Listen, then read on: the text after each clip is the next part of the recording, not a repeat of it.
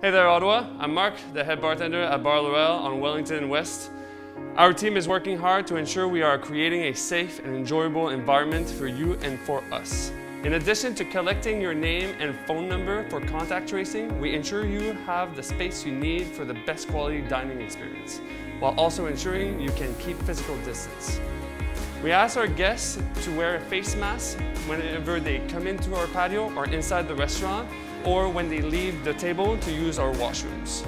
Our washrooms are clean and disinfected thoroughly, along with high contact touch points such as railing at regular intervals.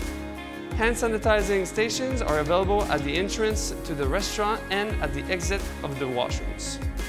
Along with other restaurants in Ottawa, we are implementing these measures alongside with others to be COVID-wise together.